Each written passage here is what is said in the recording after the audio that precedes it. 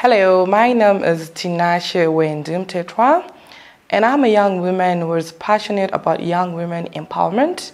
I'm a former manager at Chicken Inn, and I'm currently working as a manager at a skincare shop.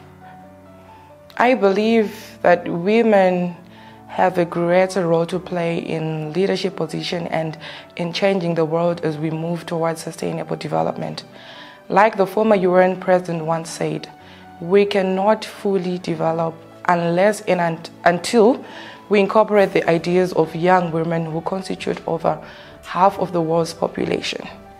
So when we look at the SDGs, we have 17 of these goals that we're supposed to reach by 2030, and most of them affect women.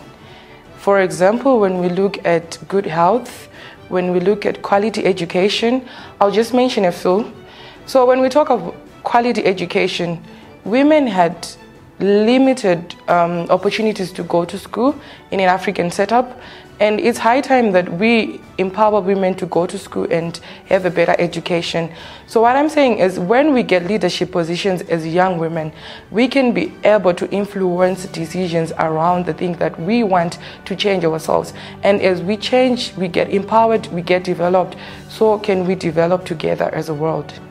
The problem that we are facing as young women are same problems world over.